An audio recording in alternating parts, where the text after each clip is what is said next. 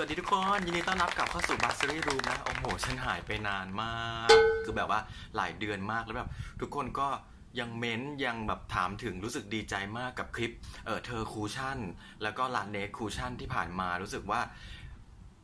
เป็นแบบว่ากำลังใจเล็กๆอะให้เราได้ทำคลิปต่อแล้วก็มีคนถามถึงว่า เอออยากให้ ทำนู่นทำนี้อยากทำคลิปต่อมีการเม้นอย่างเงี้ยมีคนด่าน้อยมาก มีคนด่าแค่หนึ่งคอมเมนต์ซึ่งเราก็แบบเออดีว่ะดีแบบ คนดูเป็นหมื่นแต่คนด่าแค่คนเดียวอะไรอย่างเงี้ยรู้สึกปลื้มใจนะแล้วก็มีกำลังใจอยากจะทำต่อ และแน่นอนวันนี้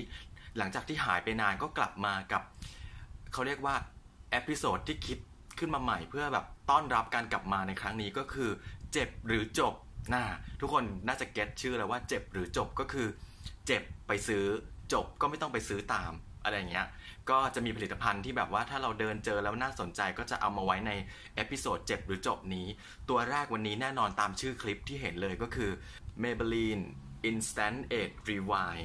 สีที่เราซื้อมาก็คือ Medium m o y e n ก็คือ 130 เบอร์ที่เข้มที่สุดที่เขามี ตอนแรกเราก็ไม่สนใจหรอกว่าว่านู่นนี่นั่นเพราะว่าเป็นคนค่อนข้างเฉยๆกับคอนซีลเลอร์ แล้วก็ ไม่ชอบในการซื้อผลิตภัณฑ์ base makeup ที่ไม่ได้ลองสีก็เลยไม่ได้ pre ไม่ได้อะไรอย่างเงี้ยจนพักหลังเมื่อประมาณสักปลายปลายเดือนสิงหาก็พวก beauty blogger ต่างๆที่ Maybelline เขาส่งสปอนเซอร์ให้หรือว่าส่งผลิตภัณฑ์ไปให้ทดลอง หรือว่า PR sample ต่างๆเนี่ยเขาก็เอามาพูดกันว่าเออมีขายที่ไทยแล้วนะเข้า 3 สี เราก็ยังเฉยๆ จนเมื่อต้นเดือนวันที่ 1 กันยาที่ผ่านมาไป Watsons มา แล้วก็แบบว่าอันเนี้ยมันวางขายอยู่ข้างหน้า ราคาเต็ม 399 แต่ว่ามันจัดโปรอยู่ที่ 379 บาท แล้วเหมือนกับเคยเป็นไหมเวลาเข้าไปใน Watsons แล้วแบบว่า เครื่องสำอางหรืออะไรต่างๆ มันก็แบบเข้ามาสิ เรียกชื่อฉัน มันเรียกฉันอะไรอย่างเงี้ย ฉันก็เผลอไปหยิบ แล้วก็ไม่มี tester อะไรเงี้ย แต่ก็เราเราก็วอลแวร์อยู่หน้าเคาน์เตอร์สักพักหนึ่งพนักงานก็เดินมาว่ามี tester นะคะ แต่ว่าพอดีว่าสาขาที่เราไปซื้อเนี่ยเป็นสาขาที่แบบคนชอบลองเล่นเยอะอะไรเงี้ยเขาก็เลยเก็บ tester เอาไว้ให้คนที่สนใจพอเราขอปุ๊บเขาก็มาปาดปาดๆให้เราก็เออตกลงใจที่สีนี้ แล้วเดี๋ยววันนี้มาดูกันว่าจะเจ็บหรือว่าจะจบ อ่า ก่อนอื่นเราก็ลงเอ่อ base makeup ขอดูจอไปด้วยนะ เราลง base makeup มาแล้ว โอ้โห หน้าใหญ่เป็นชามข้าวหมาเนาะก็คือเอ่อ primer วันนี้เป็น wet n wild นะ แล้วก็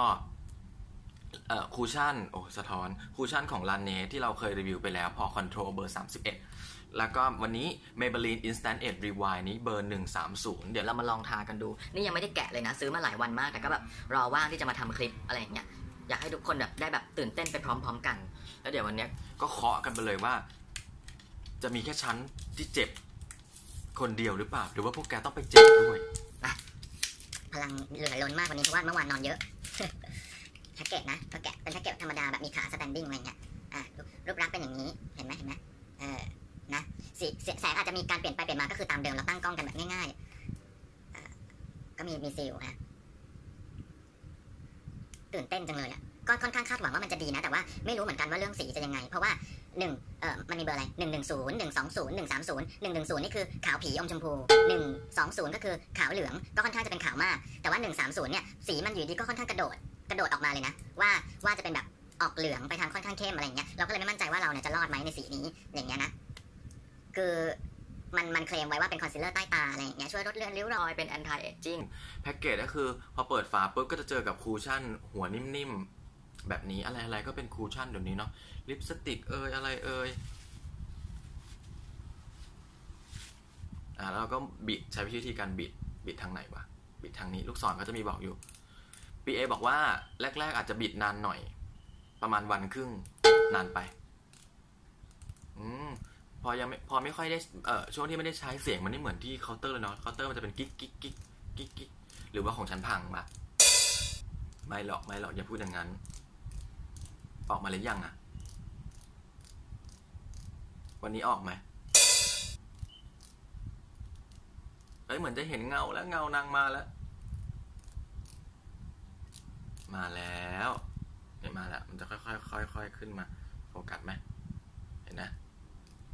เหลืองเหลืองออกมาอะไรเราปาดให้ดูที่หลังมือก่อนแล้วกันเนาะเยอะไปด้วยบิดออกมาเยอะเกินอะสีจะเป็นอย่างนี้หนึ่งสามศูนย์ นะโอ้โหเส้นเลือดชัดมากอะเดี๋ยวเรามาเริ่มกันเลยดีกว่า เพื่อไม่ให้เป็นการเสียนาฬิกาเออเสียเวลา ตลกไปเรื่อยไปเปื่อยวันนี้เป็นอะไรวะเนี่ยดีดไงอะถ้าเป็นบล็อกเกอร์คนอื่นไอ้ที่ปาดไว้นี่เขาก็จะแบบปาดโชว์แล้วก็ทิ้งไปไม่เสียดายไม่เอา ฉันไม่ดัง อันนี้ก็จะถือกระจกนะ แล้วก็จะมองมุมนี้ เริ่มข้างนี้ก่อนนะ ใต้ตานะ ใช้นิ้วมือเลยอะ ลองดู เห็นไหมสัมผัส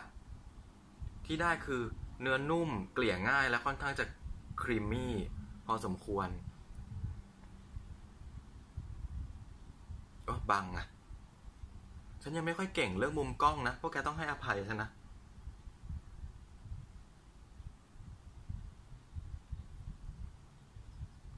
เออ รู้สึกว่าไม่แห้ง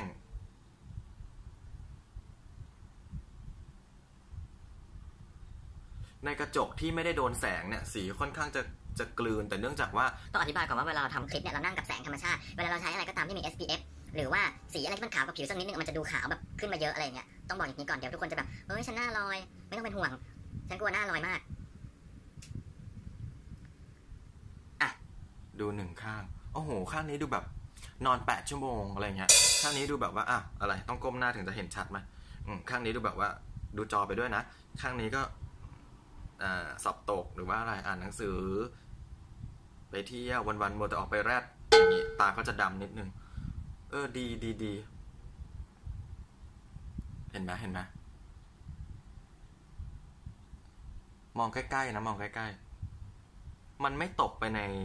มันไม่ตกไปในร่อง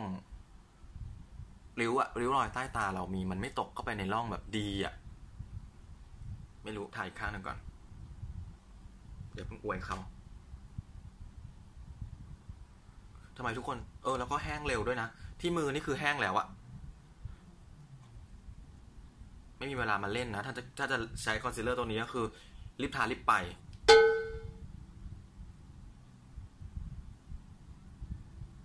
เห็นไหม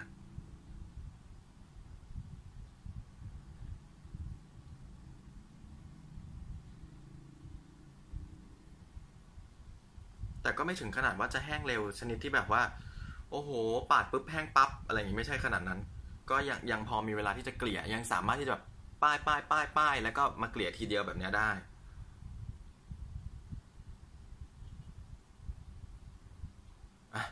เป็นไง ดูนอนนะ ดูพักผ่อนดูแบบ ดูเป็นคนแบบที่มีเวลาว่างเยอะหรือว่าอะไร เดี๋ยวลองทำเป็นไฮไลท์ไปด้วยเลยเนาะ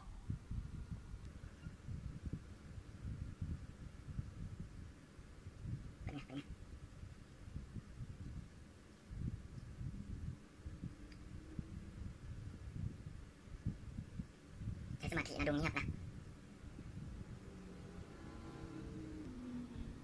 เฮ้ย ก็ได้อยู่นะ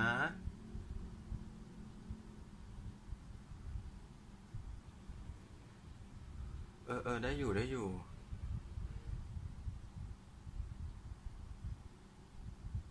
บางไงบางกระจกบาง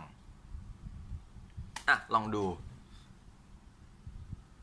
สีหนึ่งสามศูนย์กล้องโฟกัสไหม เออ หนึ่งสามศูนย์กับเรา ในกล้องนี้ก็ในกล้องค่อนข้างจะสว่างกว่าตรงอื่นนิดนึง แต่สังเกตได้ว่ามีความ matte ถ้าเทียบกับบริเวณที่ลง cushion ไปแล้วที่มันมีความวาวเนี่ยคอนซีลเลอร์ตัวเนี้ยจะค่อนข้างแบบเห็นปะไม่ reflect แสงเลย ก็ค่อนข้างจะ matte นะ แต่ดูในกระจกก็คือ กระจก ขาวกว่านิดนิดเดียวอะต้องไม่เป็นการเสียเวลาเลยเราจะมาเคาะกันเลยว่า Concealer Maybelline Instant Maybelline Instant Age Rewind ตัวเนี้ยเพื่อนๆควรเจ็บหรือว่าจะจบนะแล้วก็ปริมาณที่ได้มา 6 ml ค่อนข้างจะเยอะกับราคา 399 ช่วงโปรโมชั่นก็ 379 หรือบางคนอาจจะซื้อได้ถูกกว่านี้